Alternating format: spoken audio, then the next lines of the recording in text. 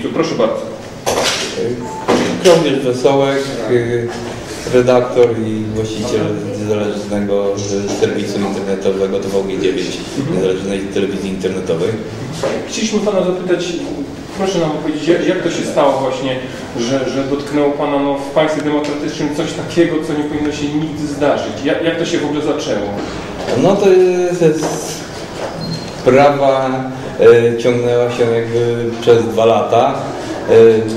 E, zaczęło się od, od happeningu naszości e, w Urzędzie Miasta Sopot. E, ja akurat e, filmowałem ten e, happening i no, dla mnie w ogóle interwencja policji e, w tej sprawie e, no, była e, skandalem, no bo e, e, tego typu e, działania jak, jak akcja naszości są e, normalnym elementem e, demokracji, no, normalnym elementem debaty pu- publicznej.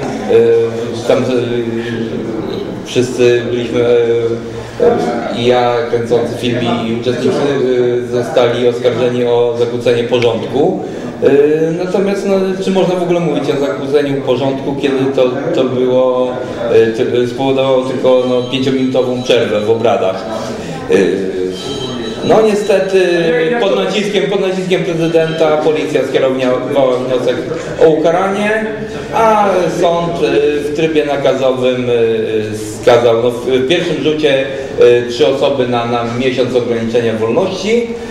Później, później już, już kiedy się zrobił szum, to, to, to, to były mniejsze kary. Ale, ale co konkretnie, co to, co konkretnie przerwaliście na 5 minut? To tam była jakaś... Sesja Rady, sesja Rady Miejskiej e, właśnie wtedy była Ale, ale poświęcona... co robiliście konkretnie tam na, tych, na tej Znaczy sesji? ja filmowałem, a, a e, koledzy z naszości, których filmowałem, e, wrę, weszli tam ze śpiewem na salę i wręczyli papugę i płetwę prezydentowi Kremlowskiemu. No i to się okazało no, taką zbrodnią, że trzeba było wszcząć postępowanie sądowe, e, ukarać winnych, no i jednego no, dziennikarza, który, który śmiał no, i, e, e, filmować no i pozytywnie przedstawiać to wydarzenie, e, no, trzeba było umieścić docelowo w więzieniu na 15 dni.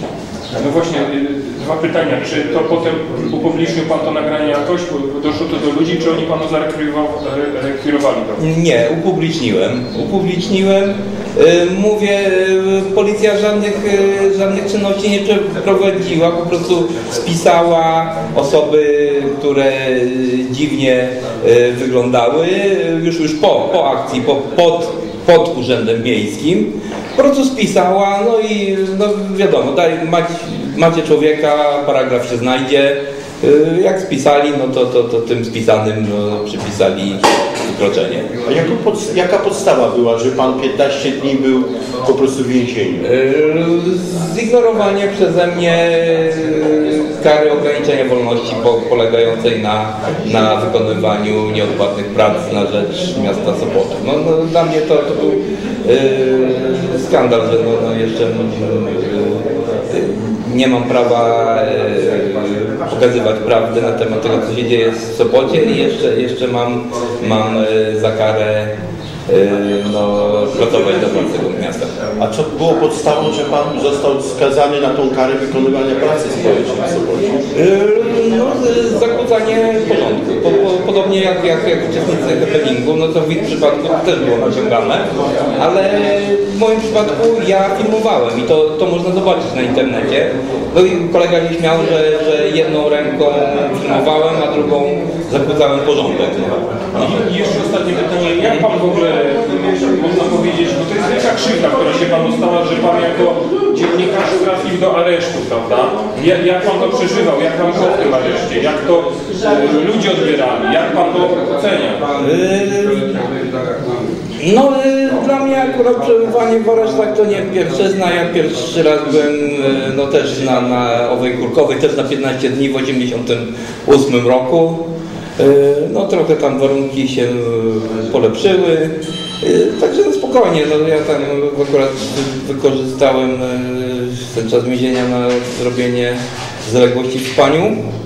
Y, Natomiast wielu, wielu i tam osadzonych i, i, i przedstawicieli administracji, chociaż no, administracja oczywiście nie mówiła tego wprost, ale widać było, że, że są zażenowani tą sytuacją, że taki, taki człowiek przybywał u nich.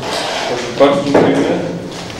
Ja mam pytanie, a ma- macie w ogóle jakieś nagrania z tego waszego tam aresztowania, czy z tych, tych, tych zajść w ogóle? Tak, tak. E, ha, zaraz, jak ja wrzuciłem, na YouTubie są, ale ja zebrałem do kupy je na tym, na, na moim e, blogu na Nowym Ekranie. Na nowym ekranie. TV9. To wiesz co, zapisz na karteczce ten Albo